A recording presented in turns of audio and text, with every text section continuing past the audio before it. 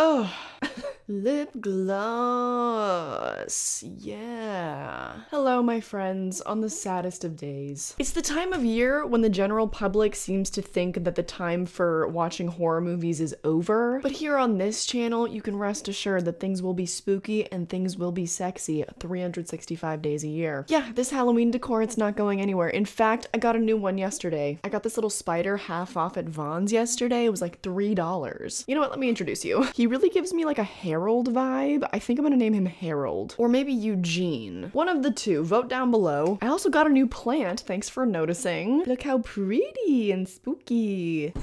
Ow! Ow. Oh. Dropped my fucking lip gloss. Where'd it go? What? Is there a vortex?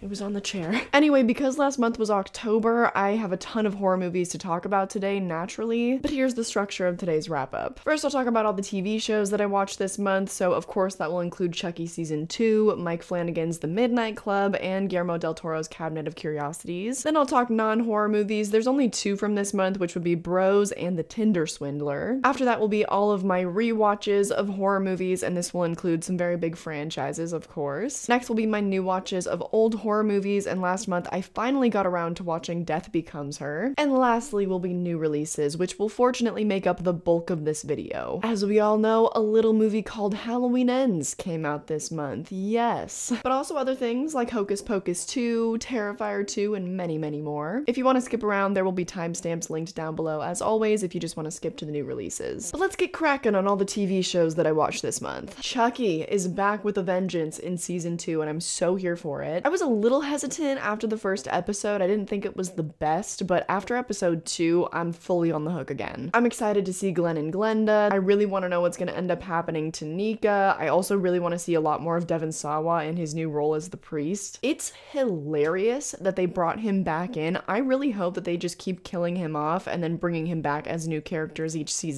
Because why not? It's so cheeky and self aware, and there's definitely an improvement in the acting from the first season. But I'll save the rest of my thoughts on season 2 because I will be doing a full review and a plot breakdown of it once it's all come out. So next up would be The Midnight Club. At a manor with a mysterious history, eight members of the Midnight Club meet each night at midnight to tell sinister stories and to look for signs of the supernatural from the beyond. I'm a little back and forth with this show because it wasn't quite everything I wanted it to be. I've kind of resigned my expectations for there to be good horror in Mike Flanagan's shows because he started to resort to the same tricks. So now I go into his shows expecting a drama with some light horror thrown in here and there. That made sense for Bly Manor, it made sense for Midnight Mass, and then obviously Haunting of Hill House was a bit more of a straightforward horror. It doesn't fit in super well in the Midnight Club, feels kind of like ham fisted. There are some stories that the kids tell that are so good. Example, episode 2 was my favorite episode of the entire show. It's hands down where the horror works the best, but is still pretty subtle. And then sometimes the horror elements just feel straight up messy because it kind of opens up these plot threads that don't end up going anywhere. But this is the rare first case, I guess, where with one of Mike Flanagan's shows, he actually is trying to set up a season 2. In the past, he's said that he never tries to set up a season 2, and I would have preferred that for this show because it does not feel well contained. The biggest highlight of the show for me is Heather Langenkamp, who I've only ever seen play Nancy Thompson. I wasn't even aware that she had chops outside of A Nightmare on Elm Street, but this is, I think, the best performance I've ever seen from her. I hope this kind of pulls her more into the mainstream and she starts booking bigger projects again. Same goes for actors like Barbara Crampton, who in the past has tweeted things like, uh, hey, don't forget about us older horror actors. She's right and she should say it. I loved seeing Heather in this show. She absolutely killed it. The younger actors are really hit or miss. I think the strongest one is definitely uh, the, the girl who plays Anya. But Flanagan is always exploring some form of trauma in his shows, and with the Midnight Club, I felt like that worked beautifully because they went through a lot of different avenues of terminal illnesses. It also had some really positive LGBTQ plus exposure regarding AIDS, and I feel like this was kind of the informative and affirming show that a lot of people probably needed. So props to all that, but my interest in the show had really petered out by the end, which I'm bummed to say. I was super into it at first, and you've probably been around, you know, I was telling everybody to watch it, but it didn't quite stick the landing. So, anyway, we can move on. Up next would be Del Toro's Cabinet of Curiosities. This is an anthology of sinister stories told by various masters in their craft, hosted by none other than Guillermo del Toro. I'll be honest, something is missing for me with this show, and I can't really pinpoint what it is. I've enjoyed two out of the four and a half episodes that I've watched. Episode three gets really, really good about 35 minutes into the episode, and from that point on, my eyes were glued to the screen. And episode four, I enjoyed, even if it too was slightly lackluster. But that episode stars some of my faves. She's from one of my favorite shows, Raising Hope, and then he is obviously from Freaks and Geeks. So the second half of episode three was amazing. Episode four was was decent, and then episode five, I have only made it halfway through because it didn't hold my interest. This is a show that I am gonna finish though because I trust Del Toro's taste, and if he's telling me that these are directors I need to keep my eye on, then that's what I'm gonna do. I also finished a show that I started last month called Little Demon. I spoke about it at length last month, so I'm not gonna read a synopsis, but Danny DeVito voices Satan,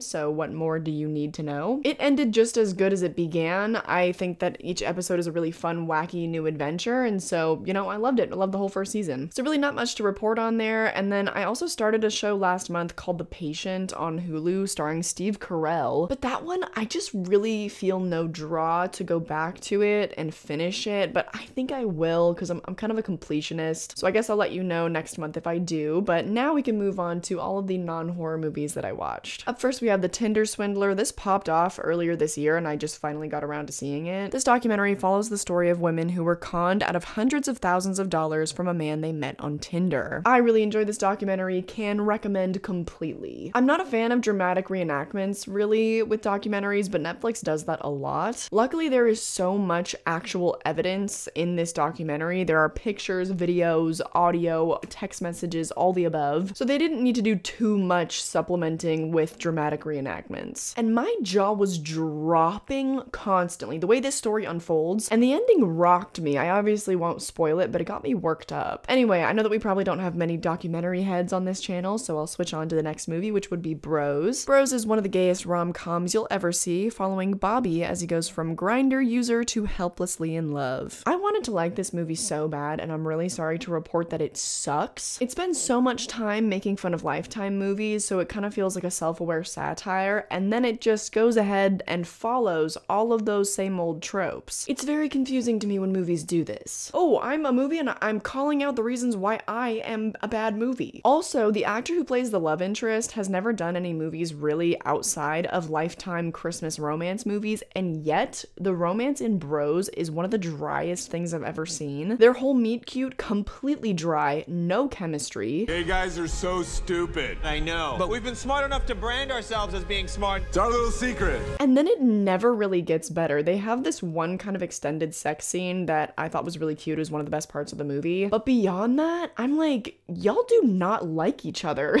it was also marketed as having really diverse representation, and then the more diverse characters spend maybe 10% of the movie on screen. I think if they really went in with another round of edits on this movie, then it could have been way better. As it is, it's so awkward, it's really lifeless, and it is way too long. It's no wonder to me why this was a total box office flop because I think that plenty of people would have been down to go see a really good gay rom com, but the word of mouth must have been pretty bad. But anyway, on to more enjoyable things. Let's talk about all the horror movies that I rewatched last month. If you've been around for my live streams, you know that I rewatched all the Chucky movies and all of the Halloween movies. There's plenty of content already on my channel concerning those franchises, so you can go find those playlists. The next movie I rewatched was Hocus Pocus to prepare for the long awaited sequel. I love this movie, it's just good, clean fun for the whole family. Except maybe that one part where a cat gets flattened on the road. Anyway, that group of women is hilarious. The 90s vibes are also so charming. I don't get tired of that movie. I have a really strong sense of nostalgia for it too, which is weird because I don't think I watched it until I was like 21. Anyway, Freaky is up next. I adore this movie. Kathryn Newton is so badass playing both Millie and the Butcher. She and Vince Vaughn both just carry. Also, the Blumhouse maze at Horror Nights was freaky and the black phone themed, and they killed it. They recreated the table saw scene, which is probably my favorite death in the movie. And then the second half of the maze was the black phone, which was terrifying. I don't know if it's because it was Halloween, but the scare actors got really in our faces, and the grabber character, oh, he's frightening. Anyway, they started to kind of tease a Freaky Happy Death Day crossover movie, and I'm like, Christopher Landon, I am waiting. We are all waiting. But imagine how tired we are.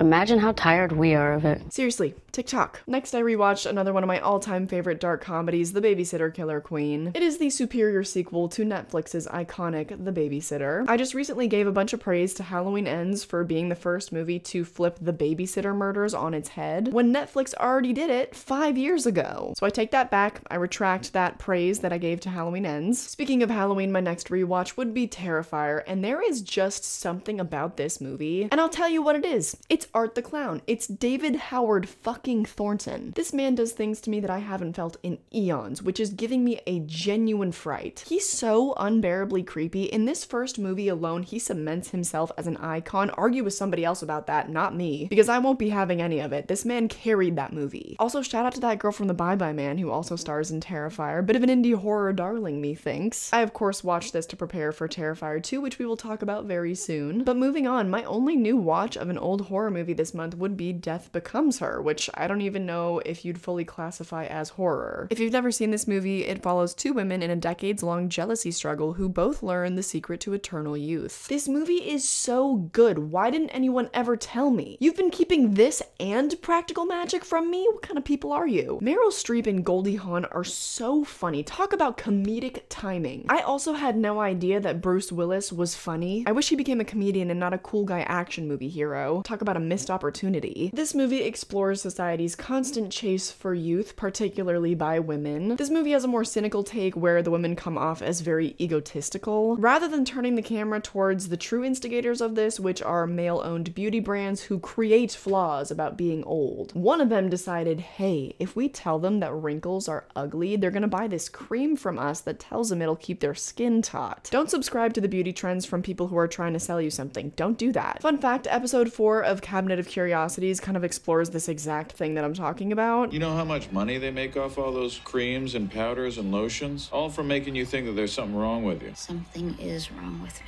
If there's something wrong with you, well, there's something wrong with me too. You'll always be fine. You wanna know why? Because you're a man. Men can be fat and hairy and ugly and impolite and old and nobody cares. So when Death Becomes Her, that kind of subject matter is not handled with the same care, but I let that slide because the way they do it is hilarious. Jessica Chastain has expressed interest in doing a remake with Anne Hathaway and sign me up for that. I'd be super interested to see how they would adapt the undertones of the movie to kind of modernize it. If you love a good ridiculous dark comedy, absolutely watch this movie. Also the set design, the costuming, it's all so decadent. It's just a great time. And you know what else is a great time? New original horror releases, so let's talk about that. First up would be Mr. Harrigan's Phone, a new Netflix release. This follows a boy who grows up reading for Mr. Harrigan every week. After introducing Mr. Harrigan to the iPhone, he passes away, but somehow manages to send messages from beyond the grave. This sounds sick, right? It's actually such a bummer. I really like the first half of it, minus the decades old bully trope that we see. Stephen King is really obsessed with depicting bullies in the exact same way in every single story he writes about children, but I really like the first half anyway because of Donald Sutherland. He's so good at playing an old man, like he just really goes for it, you know? Jaeden Martell is also fine, the boy can act. What really interested me initially is that I think the movie takes place around 2008 or whenever the first iPhone was released and it explores the fundamental meaning of that. It started out as a pretty unique take on the old technology bad thing. However, it totally falls flat because there is no real climax or resolution of the film. It has nowhere to go, so it ends. I guess I can respect that. It's a crazy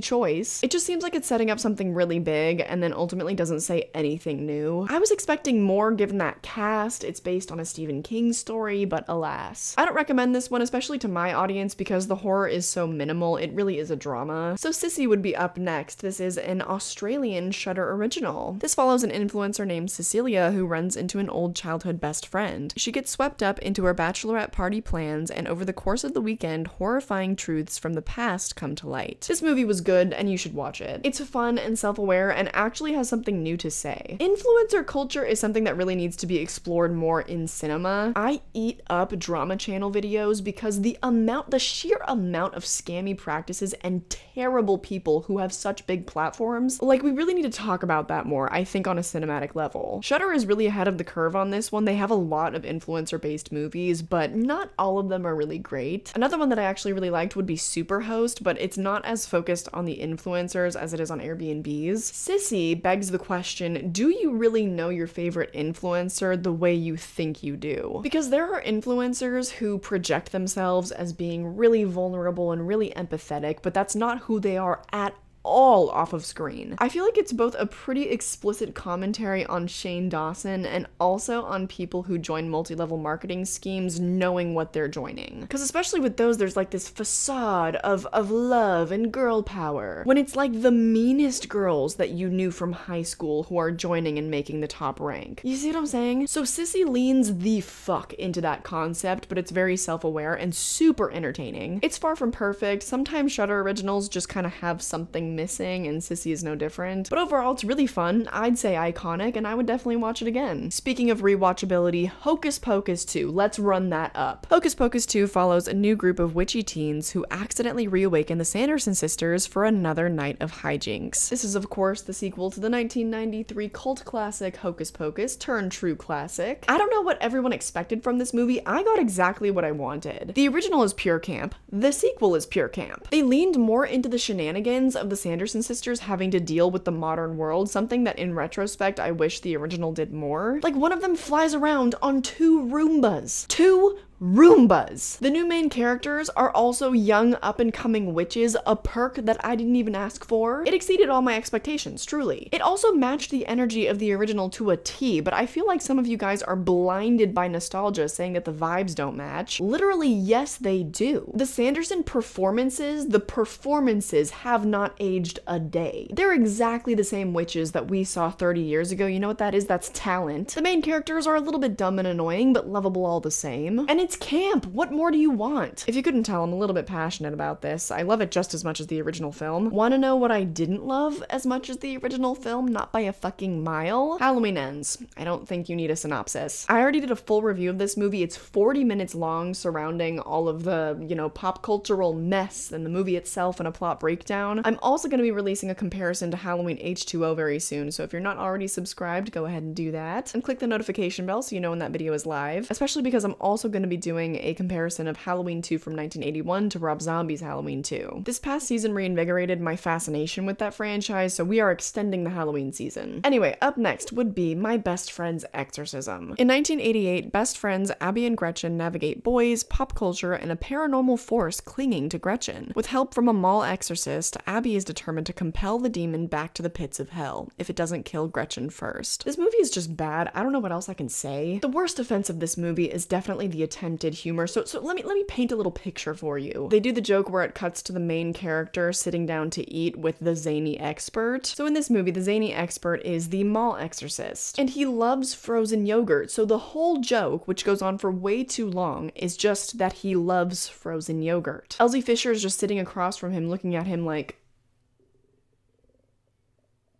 and he's just slurping away and scraping at the bottom of his yogurt cup. That joke goes on for, I swear, I think like 20 seconds, just cutting back and forth. It's agony. In the scene before, there might have been a setup to it where she's like, Can you help me? And he's like, Do you like frozen yogurt? And then it cuts to that scene where he's eating it as if that's a punchline. I don't know why I couldn't think of any examples at the time of shooting this video, but it literally happens in Zathura. I think that's what I was thinking of. That's what this scene is. And then it also happens in 17 again. Like, it's just a very common, tired trope. I can't believe they did it again in 2022. That's just a little taste of the sheer mediocrity that you will experience watching that movie. I give it one and a half stars. It's very bad. It's pretty garbo. It's also just painfully generic. It's a story about two friends, and one of them is moving away, so then they learn a lesson about friendship. And then it's also a very generic exorcism story. It's yet another 80s nostalgia piece. It's just not original in any way. On the flip side, Terrifier 2, let's talk about originality. Terrifier 2 follows Art the Clown after he's resurrected by a sinister entity. On Halloween night, he ends up finding a long line of fresh victims. Now, this movie is gonna be perfect for the people that it's made for. It's not made for me as much as I wish it was, so take all of this with a grain of salt. Though it's a little bit hairy because I do really like the first movie, so it's interesting. Terrifier 2 was causing people to throw up and faint in theaters. Paramedics were called for some people, like the whole shebang. And after seeing the movie, I get it now. For context, a little story about me. When I was a kid, I didn't understand what my anxiety was because I was never really given the language to express when I was feeling badly. So at age 11 or something, I had to get a blood test done and I fainted because I didn't really know how to express what was happening to me and it was lights out. Looking back too, I'm like, how did my mom and the nurse not recognize that I was having a panic attack? Like, what? A panic attack so bad I fainted. I'm sorry, I'm getting lost in memory lane. So I don't handle gore all that well. That was the point of that story. But I've become desensitized and I can actually handle the first Terrifier pretty well. The second movie is vile. There's a nasty poop scene in the original movie and they expand upon that in the sequel. There's even more poop. That's kind of a line I've drawn because if you haven't been on my channel for a while, I've talked about this in the past. I have this recurring nightmare about public bathrooms. There are always variations of it, but the two main things that always happen are I end up in a public bathroom that's filthy and all of the stall walls are really, really low, so you can just see everybody doing their business. Please don't psychoanalyze me in the comments. I'm just a strange girl. But basically, Terrifier 2 just had a lot of stuff that I couldn't handle very well. But for what it was, I still enjoyed most of it. The thing that was worse about it for me is that it's just way too long. I'm looking forward to the cut down version of it that they released to Screambox, so I'll probably get back to you on that next month. I just don't have the ability to consume mindless content for longer than, uh, I don't know, like an hour and a half, and Terrifier 2 was two and a half hours long. It's a gorgeous film though, the set design is great, the costumes are great, Art the Clown, of course, he carries. But I'm not really interested in the movie when he's not on screen though, because the rest of the characters just don't hold a candlestick to him. Except for one of Art the Clown's delusions, which is a new little thing in this movie. He hallucinates this little girl who kind of seems like his assistant, maybe? In general, I guess it just wasn't really for me, but shout out to all the horror fans that got out to the theaters and saw this movie and gave it the success it rightfully deserves. I'll be in line for Terrifier 3, are you kidding me? Now, if you're somehow completely unaware of the Terrifier movies, I must qualify.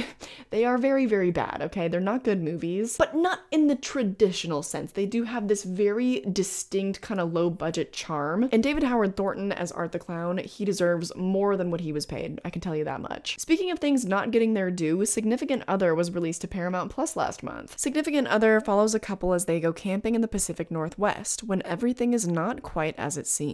Don't you dare watch a trailer, don't you dare look up a more descriptive synopsis. Just watch this movie, especially if you like dark comedies, especially if you liked Barbarian or if you like Maika Monroe. This movie was great. Still a 4 out of 5, not amazing, but still great. It takes the same kind of twists and turns as Barbarian, and I really enjoy when a movie constantly pulls the rug out from under me. There are still genuine moments of real suspense, and I feel like they keep you engaged by confusing you, which kind of seems counterintuitive, but then it makes the reveals that much more satisfying. Because for a lot of it, you're like, huh, huh, huh, and then it's like, Oh, people are sleeping on this movie, so let's wake that up. Don't get me wrong, I can understand why this movie wouldn't get a theatrical release. I don't think it'll be your favorite horror movie of the year, but it's a movie that's definitely worthy of your time, and I hope to rewatch it maybe in a couple years when I hopefully forget a few of the twists. Unfortunately, that's kind of the last great movie that I watched in October. Spirit Halloween, the movie, would be up next. Locked inside a store on Halloween night, three middle school friends encounter an angry spirit that possesses creepy animatronic characters. I don't have many thoughts on this one. One of the only positives is that Christopher Lloyd from Back to the Future is voicing this kooky ass villain. His consciousness transfers from different inanimate objects in this Spirit Halloween store, which is kind of fun. Another positive is that it has really nice fall time vibes, and it looks like they actually did shoot it in a Spirit Halloween store. This is good and bad because, on the one hand, it's cool that it's in a very accurate representation of a Spirit Halloween store. I'd be willing to bet they actually did shoot in one. But on the other hand, you would think that maybe beef it up a little bit more and give the store some even more spooky vibes because it's a movie. It doesn't have to be that realistic. I was rooting for this movie. I love shopping in Spirit Halloween, and Hocus Pocus 2 also exceeded my expectations. So I was very much thinking, yes, campy kids' Halloween movies are back. And this movie just didn't do that. Nothing much happens in this movie. It's boring. The kids are pretty insufferable. So I don't really recommend that one. And speaking of insufferable, Grimcutty is up next on the chopping block. A suburban teen girl and her little brother must stop a terrifying internet meme brought to life by the hysteria of their parents. I think if you're like 12 years old, this movie is gonna slap. It's like The Bye Bye Man, where it's completely insufferable, but I think it'll appeal to certain people for that very reason. I'm not above this kind of movie. I genuinely enjoy The Bye Bye Man, The Pee Pee Poo Poo Man. But maybe I've passed the age where I can be forgiving of new content that's this bad. With Spirit Halloween, the movie as well, I feel like if I were a kid, maybe I would have loved it, but I'll never be able to know that for sure. But also, the original Hocus Pocus is campy and dumb, and same with Halloween Town, and I watched those as an older, you know, as an adult, and I still like them. But anyway, the creature design of Grimcutty is not that bad. I just think they made the mistake of showing it way too early and showing too much of it. From the very beginning of the movie, you just get full frontals of the monster, so you become quite desensitized to it. I don't know if this was done for the children who will undoubtedly make up the majority of this movie's audience, but it was not my cup of tea. So that brings us to Run Sweetheart Run. After what begins as dinner with a client, a single mom finds herself hunted by a monstrous and seemingly unstoppable assailant. I really wanted to like this movie because I've been anticipating it for literally years. I explained this at length already over on Patreon, but if you guys haven't joined over there yet, okay, this movie put me through it. Years ago, when I still watched trailers here and there, I saw a trailer for this film and then it disappeared off the face of the earth. I thought it was a fever dream. I thought I was losing my mind. Because the only thing that I remembered about the trailer is the part where she goes into his house and then he breaks the fourth wall and doesn't let us come inside. And then when that trailer disappeared and I never even learned the name of the movie, I was like, that's it. Early onset dementia. So now I think about three years later, it pops up randomly as an Amazon Prime release and my sanity is restored. Unluckily, the movie wasn't good, so let's discuss. I suppose back in the day, it was supposed to have a theatrical release because that's where I saw the trailer and then it got purchased by Amazon. And I guess Amazon funded some reshoots. I haven't really looked into that too far, but I have no idea what they changed or why. But the movie that we got as a result is this hollow girl boss flop. For the first hour or so, I think that you'll enjoy yourself with this one, but it then becomes abundantly clear that this movie has nothing new to offer you and it becomes insanely repetitive. There's a big twist that I feel like you can pretty much see coming from about a mile away, and I can't say what it is without spoiling it, but I feel like the twist kind of single handedly detracts from the entire message of the movie. So to conclude, I feel like Hollow is the best way to describe the movie gatekeep, gaslight, girl boss. Am I right, ladies? Alright, let's talk about Wendell and Wild. The two devious demon brothers, Wendell and Wild, have to face their arch enemy with the help of the nun, Sister Helley, who is notorious for expelling demons. However, the brothers are not only plagued by her, but also by her altar boys. This synopsis that's given by Google is very inaccurate for some reason, but I couldn't even think of a better way to explain this movie. This movie has way too much going on, hence why I can't think of a better synopsis to supplement that. Basically, this movie has way too many characters that are competing to be the lead, and I'm not sure if the intention was to make a true ensemble. I don't think so because the main character definitely seems to be Kat, who has been sent away to, I guess it's like this school for deviants or something. Her parents had recently passed away, and so her whole arc is coming to terms with that, which was solid and I think could have been its own movie. But then Wendell and Wild are also set up as main characters whose main goal is to create an amusement park for departed souls. They're willing to do anything for it too, including tricking young girls who had lost both their parents. So their arc is about developing empathy for humanity, which also could have been its own movie. But wait, I'm not finished. There's more. All of this is happening on top of what I guess is the main plot, where one of Kat's new friend's parents, they own this big prison and they've essentially like purchased this town. So they want to expand their giant prison. This main plot dives into the purely immoral practices of the prison industrial complex, also very much worthy of its own movie. I'm starting to see a trend where Jordan Peele crams so many ideas into his movies that they are competing so fiercely that none of them really have enough time to come up for air. This is also directed by Henry Selick, icon, who directed Coraline and The Nightmare Before Christmas, so sue me for thinking this storyline might be easy to follow. I guess you can give it to them that it is PG 13, so it's up to their own discretion to elevate the material's themes like that, but even as an adult, I don't know, it was kind of hard for me to follow. It's just like with Nope, where I felt like each subplot deserved to be its own film. Though it was still an absolutely stunning film and a wonder to look at, so it does have that going for it. But that's about it. It's also about an hour and 45 minutes long, which I think is just entirely too much. Especially because you know that children are still gonna watch it. It's animated and they're not gonna be able to follow it for shit. But I'm still happy it was made and I hope for more because adults deserve more animation like this. But anyway, we must finally now discuss Prey for the Devil. The Roman Catholic Church combats a global rise in demonic possessions by reopening schools to train priests to perform exorcisms. Although nuns are forbidden to perform this ritual, a professor recognizes Sister Anne's gifts and agrees to train her. Thrust onto the spiritual front line, she soon finds herself in a battle for the soul of a young girl who's possessed by the same demon that tormented her own mother years earlier. This movie was so bad, I cannot believe it is the last movie that I watched in October. To be fair, I did start Trick or Treat that night after watching that movie, but I didn't finish it, so I'm gonna have to get back to you on that one. Prey for the Devil is another fake girl boss kind of moment, and I'm not here for it. It's the most generic horror movie I've maybe ever seen. I was truly so baffled on Letterboxd. All I could say is, why would they make this? I could probably rattle about 20 movies off the top of my head that were way more deserving of a theatrical release. I don't know how in the hell they finessed that, and I don't know who in the hell it was made for. It has all the things. It has generic trauma exploration from a deceased abusive parent. It has over the top CGI scares where loud is scary. It basically has every last thing that you would expect from an exorcism story. This movie would have been outdated if it was released 10 years ago, let alone in 2022. It honest to God feels like a straight to DVD release from the early 2000s. It's bizarre. One might even say it's bonkers. Absolutely do not spend your money to go and see this movie. It's one of the only new releases this year that I gave a half star. It was that bad. The hold that the Catholic Church still has on some of these filmmakers, I